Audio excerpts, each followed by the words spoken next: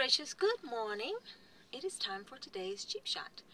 And today's Jeep Shot is brought to you by the trifecta of the letter P. So I was giving some thought to this uh, Jeep Shot, of course, and I was thinking about business. Small business owners, especially those who are bootstrapping, as in, you know, maybe starting it on the side, moonlighting, or just, you know, kind of jumping in because they are passionate about or a particular topic. So, I mean, you have to think about it. How far really does your passion drive you? You know, when you're passionate about something, there's a tendency to want everything to be perfect, and really there is no such thing as perfect. And then, of course, there's that uh, variation of you know, good enough is okay. And maybe good enough is not okay, but, you know, as long as you're not wearing yourself out for perfection, what you want to focus on is are you providing value? So if your passion allows you to provide value to others, then of course that is one way for you to monetize your passion. So as a business owner, starting off with your passion is a good start as long as you attach it to providing value.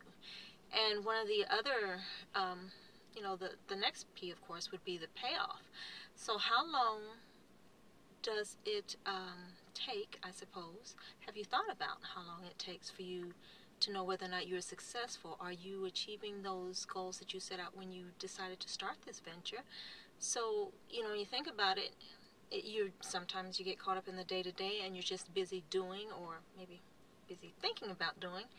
And, you know, it gets frustrating sometimes because maybe things aren't happening as as quickly as you want it to happen, which of course drives the third P, which is a lot of, which means patience. And I, I think we've probably all perhaps heard that quote or saying that, you know, success could just be that next phone call or that next client is just one action apart away. So if you just have enough patience to hang in there and to continue to provide value, then your payoff will come, but it's not, I mean, you don't know when, right? You know, you get frustrated and you want to give up, and it's just like, oh, really? Do I keep doing this or do I not keep doing this? But, you know, what's around the corner? And then sometimes, you know, just when you're just having those really dark days, and you do get that phone call, or you do get that, you know, sign, I guess, if you want to call it.